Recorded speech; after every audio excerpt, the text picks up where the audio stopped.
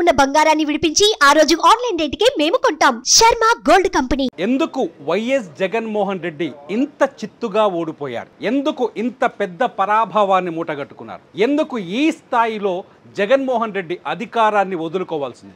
ఎందుకు ప్రజల్లో ఇంత వ్యతిరేకత వచ్చింది? ఎందుకంటే సాధారణంగా ఏ రాజకీయ పార్టీ అయినా ఐదేళ్ళ పాటు ప్రభుత్వాన్ని ఏర్పాటు చేసిన రాజకీయ పార్టీకి ఎంతో కొంత ఎడ్జ్ ఉంటుంది. ఎందుకంటే గడిచిన ఐదేళ్ళలో ఆ పార్టీ చేసిన మంచి పనులు కావచ్చు సంక్షేమం కావచ్చు అభివృద్ధి కావచ్చు ఏదైనా పార్టీని కొంత బతికిస్తాయి ఆ పార్టీకి కొంత అవకాశాన్ని ఇస్తాయి. కానీ ఆంధ్రప్రదేశ్లో గతంలో ఎప్పుడూ చూడనంత దుస్థితిలో వైసీపీ అత్యంత దారుణమైన స్థితిలో ఓడిపోయింది. ఈ ఓటమికి కారణం ఏంటి?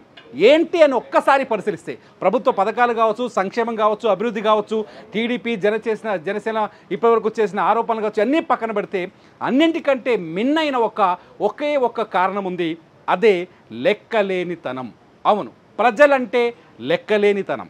నాయకులంటే లెక్కలేనితనం. ఇది సొంత పార్టీలో కూడా నాయకులను పట్టించుకోకపోవడం నాయకులను కాదనే నిర్ణయాలు తీసుకోవడం. ఇదే సేమ్ ఇదే సీన్ రెండు వేల ఇరవై మూడులో తెలంగాణలో కూడా రిపీట్ అయింది. తెలంగాణలో ఏం జరిగిందో కేసీఆర్ ఎలా అయితే ఓడిపోయారో అచ్చం వైఎస్ జగన్మోహన్ రెడ్డి కూడా ఇక్కడ అలాగే ఓటమి పాలయ్యారు అని చెప్పడానికి నిస్సందే సందేహమే లేదంటున్నారు రాజకీయ విశ్లేషకులు. ఎందుకంటే కేసీఆర్ వైఎస్ జగన్మోహన్ రెడ్డికి మెంటర్గా పనిచేశారు.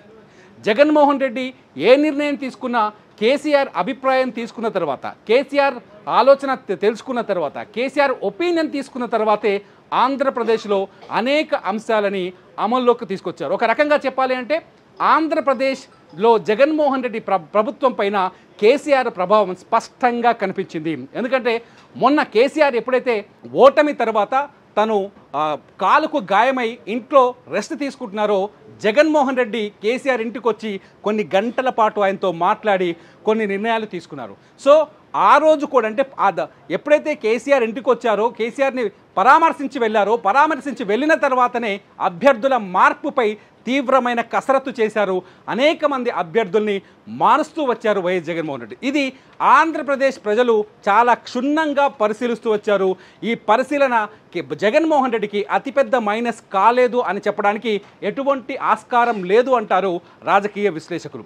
కేసీఆర్ మెంటర్గా ఉండటం వల్లే జగన్ కొంత ఓటమికి కార జగన్ ఓటమిలో కేసీఆర్ మెంటర్గా ఉండటం కూడా ఒక కారణం అనేది ఇక్కడ చర్చకు తెరపైకి వస్తుంది. ఇక ఇంకో మాటకు వచ్చేస్తే గతంలో రెండు వేల పంతొమ్మిది ఎన్నికల్లో చంద్రబాబు నాయుడు కాంగ్రెస్ అంటే టీడీపీ కాంగ్రెస్ ఇక్కడ కూటమిగా పోటీ చేశాయి. తెలంగాణలో కూటమిగా పోటీ చేసినప్పుడు కేసీఆర్ చంద్రబాబు నాయుడు టార్గెట్గా అనేక విమర్శలు చేశారు. ఒకవేళ తెలంగాణలో కాంగ్రెస్ అధికారంలోకి వస్తే టీడీపీ పరిపాలిస్తుంది. ఆంధ్రప్రదేశ్ నుంచి చంద్రబాబు నాయుడే పరిపాలన కొనసాగిస్తారు అనే ప్రచారాన్ని తీసుకొచ్చారు. చంద్రబాబు టార్గెట్గా కేసీఆర్ తెలంగాణలో రెండు వేల పంతొమ్మిదిలో పద్దెనిమిదిలో ఎన్నికల ప్రచారం చేశారు. రెండు వేల పద్దెనిమిదిలో చంద్రబాబుని ప్రతి సభలో కేసీఆర్ స్పీచ్లు ఒకసారి చూస్తే ప్రతి సభలో చంద్రబాబుని వ్యతిరేకిస్తూనే ఆయన ప్రచారం చేశారు.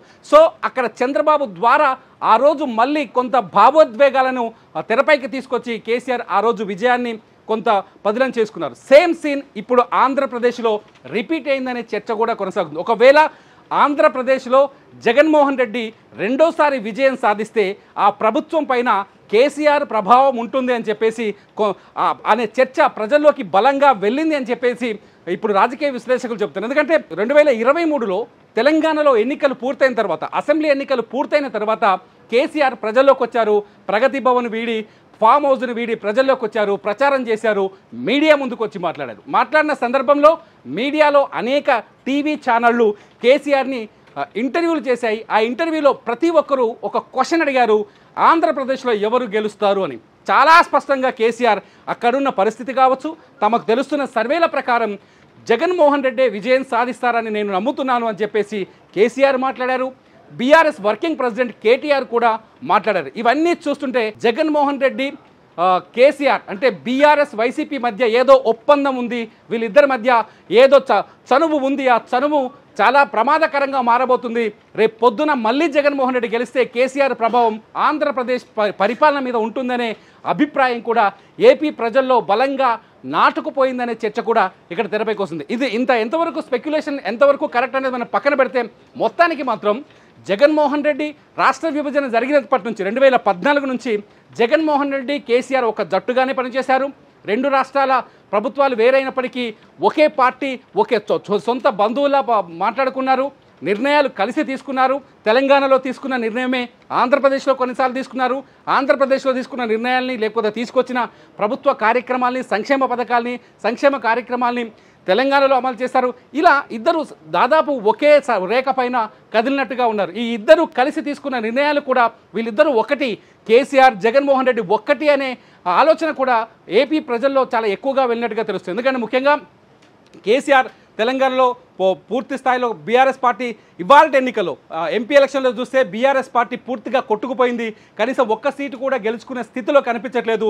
ఈ నేపథ్యంలో ఇటు కేసీఆర్ ప్రభావం ఏపీ ఓటర్లను కూడా కాస్త ప్రభావితం చేసినట్టుగా తెలిసింది తెలుస్తోంది. ఈ నేపథ్యంలోనే కేసీఆర్ ఎఫెక్ట్ జగన్మోహన్ రెడ్డి ఓటమిలో చాలా స్పష్టంగా ఉందని చెప్తున్నారు. మొదటి నుంచి కేసీఆర్కి జగన్మోహన్ రెడ్డికి ఒక సారూప్యత కూడా కనిపిస్తుంది. తెలంగాణలో కేసీఆర్ ఓటమికి ప్రధాన కారణం ఏంటి అంటే లెక్కలేని తనమే అని చెప్తారు. ఇక్కడ ప్రజలు కావచ్చు రాజకీయ విశ్లేషణలు కావచ్చు. ఎందుకంటే ప్రగతి భవన్లో కేసీఆర్ ఎప్పుడూ ప్రగతి భవన్ నుంచి బయటకు రాకుండా పరిపాలన చేశారు. సెక్రటేరియట్కు రాలేదు. ప్రజలతో ఎప్పుడు కేసీఆర్ ప్రజలకు దూరంగానే ఉన్నారు. ప్రజా సమస్యలపైన అంటే కొండగట్టు ఇష్యూ కావచ్చు ఇంకో ఇష్యూ కావచ్చు ఇటువంటి ఇష్యూల్లో కేసీఆర్ సరిగ్గా స్పందించలేదు. బీఆర్ఎస్ పార్టీ అధికారాన్ని మాత్రమే ఎంజాయ్ చేసింది కానీ ప్రజలని పట్టించుకోలేదు. కనీసం వాళ్ళ సొంత పార్టీలోని ఎమ్మెల్యేలు నాయకులు ఆఖరికి మంత్రులను కూడా దగ్గరకు రానివ్వలేదు అనే చర్చ తెలంగాణలో ఎన్నికలకు ముందు బలంగా నడిచింది. సేమ్ సిచ్యువేషన్ ఇవాళ జగన్మోహన్ రెడ్డి దగ్గర కూడా ఇదే సిచ్యువేషన్ నడిచింది. నేనే అన్ని జగనే మొత్తం రాష్ట్రానికి లీడు. జగనే వైఎస్ఆర్సీపీకి అంతా జగనే. నాయకులను పెద్దగా పట్టించుకోలేదు. ఎవరైతే గ్రౌండ్ లెవెల్లో ఉండి కింది స్థాయిలో ఉండి ప్రజల కోసం ప్రజల్ని ఒక్కటి చేస్తూ ప్రజల్ని చైతన్యపరచాల్సిన నాయకులని జగన్మోహన్ రెడ్డి మొదటి నుంచి నిర్లక్ష్యం చేశారు. అది కూడా ఈ ఈ ఎన్నికల ఫలితాల్లో చాలా స్పష్టంగా కనిపించింది అని చెప్తున్నారు రాజకీయ విశ్లేషకులు. అంటే ఎప్పుడైతే కింది స్థాయి నాయకులని లెక్కలేనితనంగా చూస్తారో ఎప్పుడైతే కింది సొంత పార్టీలోనైనా కింది స్థాయి నాయకులను పట్టించుకోరో అప్పుడు అది ఆ పార్టీకే ప్రమాదకరంగా మారుతుందని ఇటు తెలంగాణలో బీఆర్ఎస్లో రుజువైంది ఇటు ఆంధ్రప్రదేశ్లో వైసీపీలో రుజువైందని చెప్పేసి ఇవాళ రాజకీయ విశ్లేషణలు తెరపైకి వస్తున్నాయి. చూద్దాం ఈ రెండు పార్టీల నేతలు ఈ ఓటమి పైన ఎలా స్పందిస్తారు?